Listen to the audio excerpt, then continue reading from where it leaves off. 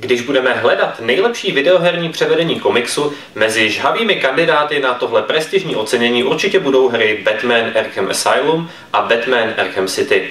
Na úspěšné tituly, které nabídly hráči možnost převtělit se do role temného bojovníka proti zločinu, naváže i nově oznámený Batman Arkham Origins. Jak už název napovídá, půjde o skok v časové linii dozadu, před události Asylum i City. Autoři sami hovoří o inspiraci komiksy Batman Year One a Legends of the Dark Knight. Netopíří superhrdina se dostává do nemilé pozice. Mafiánský boss Black Mask na něj vypíše vysokou odměnu a po Batmanovi tak jdou všichni zločinci i skorumpovaní policajti Gothemu. Na hře Batman Origins už nedělají lidé z původního studia Rocksteady.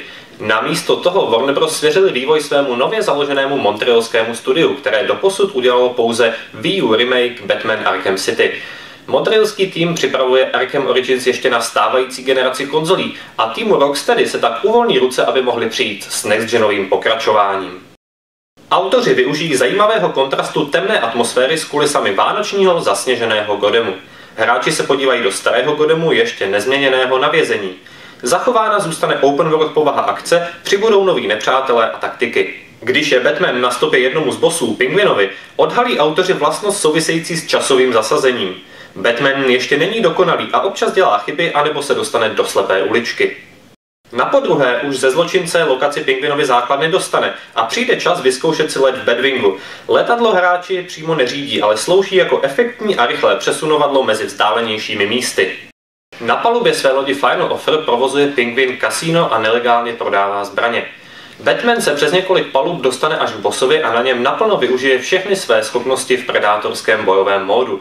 Kromě těch už známých to bude například vzdálený hák, který umožňuje propojit dvě různé věci v herní scéně a přitáhnout je posléze k sobě. Tak může Batman srazit dva nepřátele najednou, anebo na ně nechat spadnout výbušný sud. Po pacifikaci pingvina se Batman utká s nebezpečným zabijákem Deathstrokem. Padouch s rozpůlenou tváří bojuje jako ďábel, i když je podle komiksu jednooký. Batmanovi po krku půjdou i lidé podplaceného komisaře Léba. Batman se nezmění v GTAčko, hráči nebudou kosit policajty po desítkách, ale když je zaženou do kouta, budou se bránit. Černá maska a bílý oblek jsou poznávacím znamením sadistického mafiána, jednoho z hlavních drogových dílerů v Godemu. Dřevo na masku získal tenhle cynický záporák z rakve vlastního otce. Batman by měl v Arkham Origins provádět také mnohem více detektivní práce a vyšetřování.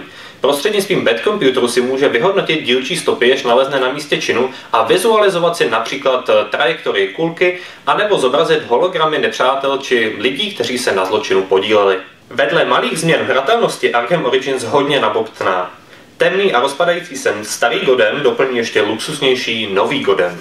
Hráč si bude jednotlivé lokace postupně odemykat dobýváním kontrolních věží, v herním světě se bude dynamicky projevovat i jeho postup v boji proti zločinu a počet splněných volitelných misí. Batman Arkham Origins vyjde na platformy PC, Xbox 360, PlayStation 3 a také Wii U 25. října 2013.